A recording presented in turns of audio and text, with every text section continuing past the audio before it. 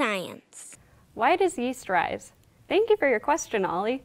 Let's learn about yeast today. So yeast are very, very tiny living organisms that we like to use when we're baking. We mix them into our dough.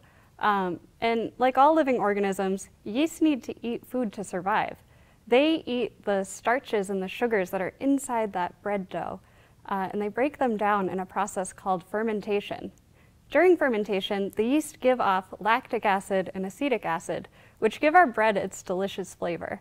They are also making carbon dioxide, which gets trapped inside of that sticky dough.